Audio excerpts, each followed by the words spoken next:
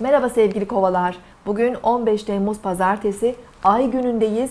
Bugün uzaklardaki bir aile üyesinin sürpriz ziyareti günün ana konularından biri olabilir. Konuşacak çok şeyiniz olduğu için günlük işlerinizdeki programınızı biraz e, aksatabilir ve ona zaman ayırabilirsiniz.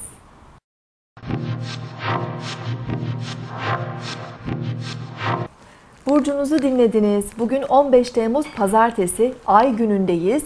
Ay terazi burcunda ilerleyecek bugün. Denge ve uyum arayışına dikkat çekiyor. İlişkilerimiz, ortaklıklarımız, e, sosyal ilişkilerimiz biraz daha ön planda olabilir. Ancak sabah saatlerinde biraz gergin enerjiler var. Ay Uranüs'te karşıt açıda olacak ve Merkür'le de kare açı içerisinde olacak. Bu nedenle istediğimiz o denge ve uyumu bulmakta biraz zorlanabiliriz. Özellikle e, terazi, koç, oğlak ve yengeç burçlarının biraz ilişkilerinde daha dikkatli ve temkinli olmaları gerekiyor.